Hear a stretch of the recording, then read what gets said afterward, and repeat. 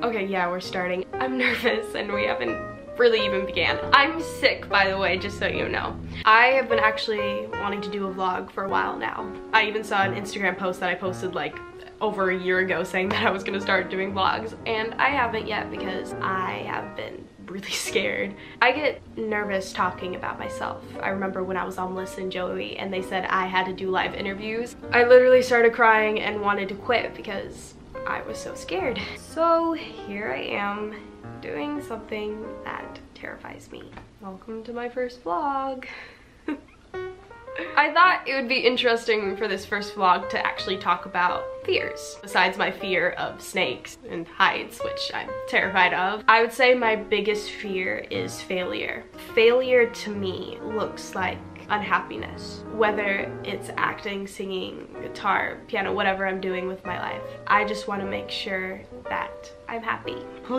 I think what started my fear of failure was that from a very young age, I learned that not everyone's gonna want to hear what I have to say or want me to talk or want to hear my thoughts. And I'm the type of person who's very content being alone. So I think I just stopped talking stopped expressing my thoughts. And that's what got me into writing. I started writing songs when I was six or seven years old. I started writing stories. I was writing movies and plays and musicals and all this other stuff because I could live what I wanted my reality to be.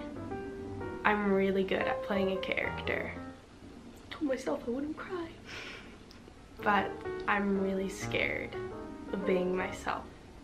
These vlogs are gonna help me by learning to express myself and my thoughts and I want you guys along for the journey. I think why vlogs scare me are because the comments are gonna be about me. They're not gonna be about a character I played, a song I sang. They're just gonna be me.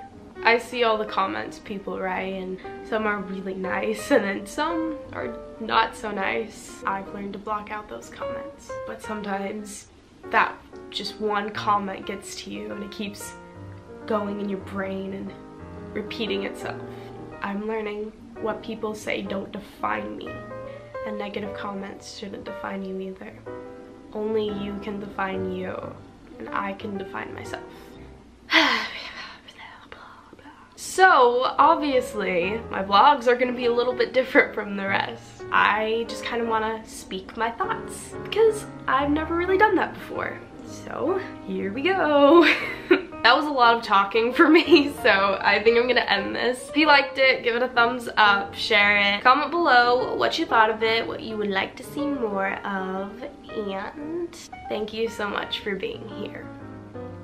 And if you watched this far into the video, you type, when I grow up, I wanna be happy. Bye.